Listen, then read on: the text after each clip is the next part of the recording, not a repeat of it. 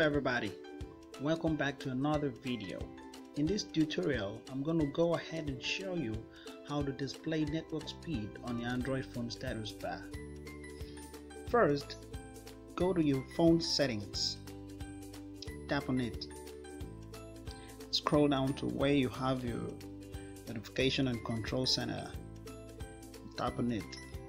It's pretty simple. It's a button just to click on and you have your network speed displayed on your phone status bar. So in this case I'm gonna toggle this button on and you have my and I'll have my network speed displayed on my phone status bar.